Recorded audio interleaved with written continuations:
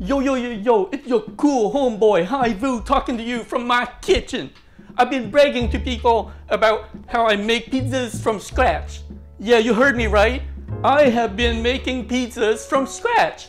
So, if I can do it, you can do it. So let's go see how it's done. Real easy. Woo! So you know, one of the most important part of making the dough is the yeast. So here we have just some store-bought bottle of Fleischmann yeast for making a dough. Any kind of dough will do, but today we're making a pizza dough. To prepare the yeast, you take a small bowl and half fill with some room temperature water. And then you're gonna put in two teaspoons of yeast, like so. And then you're just gonna stir it in like so.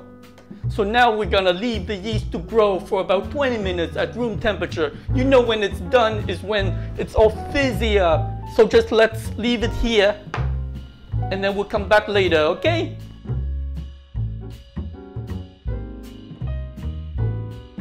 So while we're waiting for the yeast to get ready, we're gonna prepare the dry ingredient. The most important part beside the yeast for the dough is the flour. I'm going to use some white flour. Uh, how much? Who knows? Just put in as much you want. So basically I'm gonna fill up about a third way up for this bowl.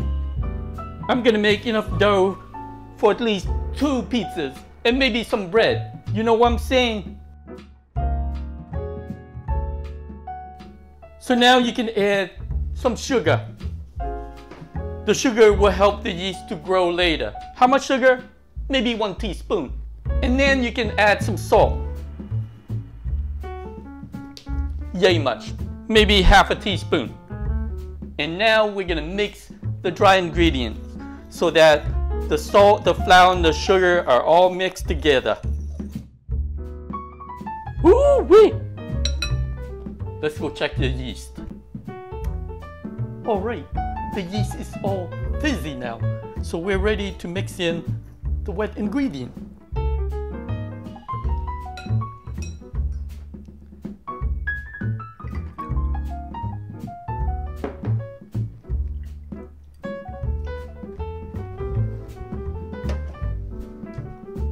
So first, we're gonna pour in a little bit of water just a little bit. And then we're gonna mix.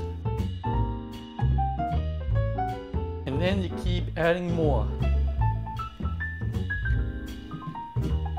Like that. And then you mix some more.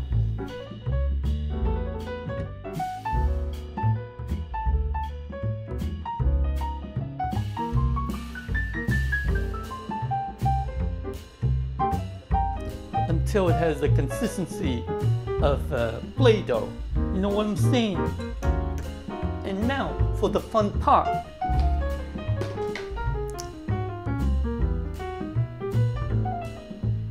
We sprinkle some flour on the table. And then we dump the dough on to the table on top of the flour it's kind of wet, so we're gonna add some more flour.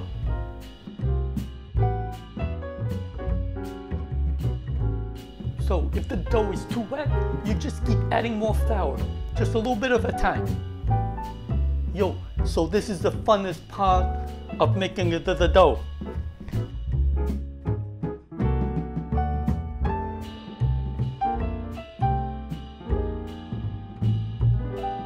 Basically just fold the dough and be gentle about it, right?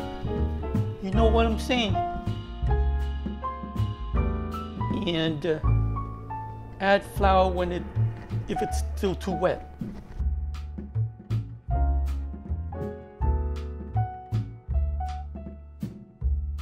And you know when it's done? When the dough no longer sticks to your fingers. All right, that's it, we're almost done. There's nothing to it. So now all we're gonna do is we're gonna wait and let it rise. So I'm gonna put it back into the bowl like this and then we're gonna cover it. So we're gonna use some saran wrap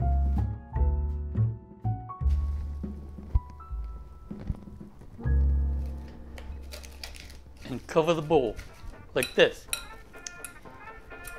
And we're just gonna let it sit and rise.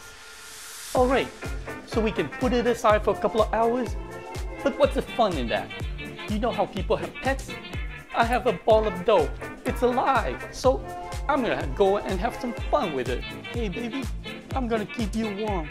Me and you, we're gonna have some fun. Yeah, take that, take that. Die, zombie, die. I know, right? So sad.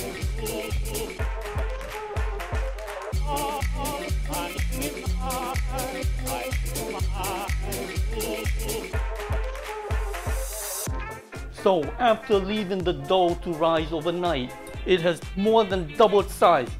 Remember how small the ball was? Look, the ball is now twice as big as it used to be. So we're gonna go ahead and make a pizza.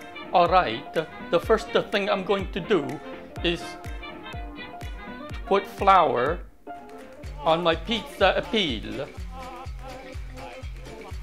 I have a cheap peel it is not made of metal, so it might be sticky, so I'm going to put uh, a lot of flour and then I'm going to pour out a piece uh, big enough for my intended pizza.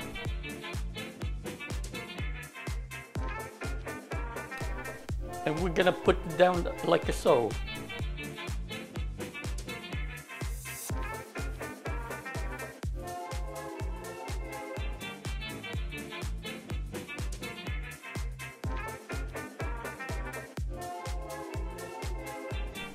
doesn't have to be pretty because you're making the pizza for yourself. So, the first thing I'm going to put on the pizza is the pizza sauce. Here I'm just using puree tomato from La San Marzano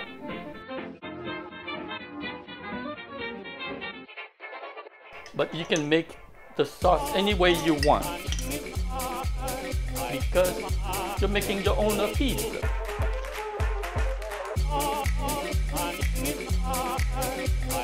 Because this is just a plain uh, tomato, So I'm going to put a little bit taste in it with salt,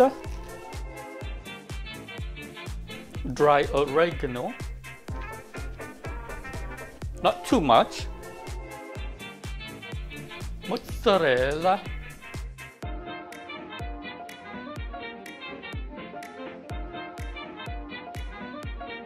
you can put on any kind of topping that you like. Since it's your own pizza you put in you put on whatever you like.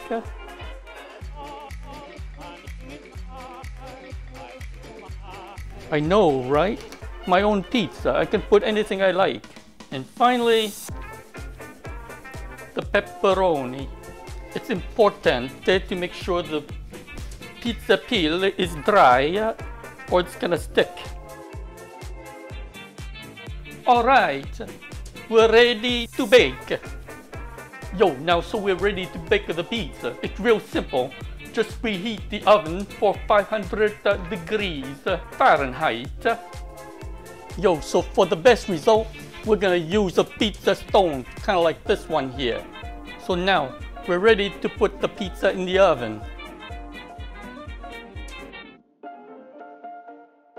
Like so. Not the most pretty thing, but it's gonna work. So, uh, depending on how big your pizza is, uh, and how much stuff you put in it, um, you can bake anywhere from 10 to 15 minutes. But always watch. All right. Isn't that a thing of beauty?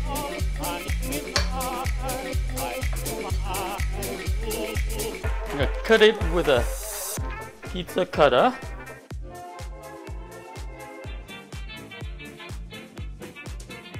Homemade pizza from scratch. Yeah, I know, right?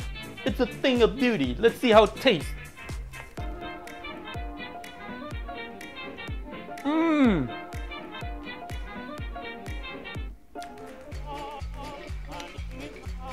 Oh my god! It's so delicious! And the dough. The homemade dough is what made the pizza. Baby, this is where it's at. Ma chérie, mon amour, que le petit chien pisse alentour. Hum, c'est merveilleux, mes amis.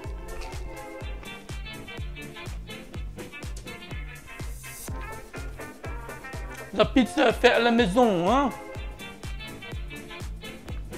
Délicieux. Man, this is good pizza. When you eat homemade pizzas, you eat the crust too. You don't leave the crust behind because that's the best thing. Oh yeah. It's like eating a baguette, one of them French bread with pizza topping on top. Mmm, mmm, mama. Yeah, man. As you can see, it didn't take much to make a pizza from scratch. See, real simple. Even I can do it. So can you. So, go ahead. Make your own pizza. That way, you make it the way you like you put whatever you like on it. You're not constrained to whatever the pizza stores sell you. You make it your way. All right? So go ahead. Go. Make your own pizza.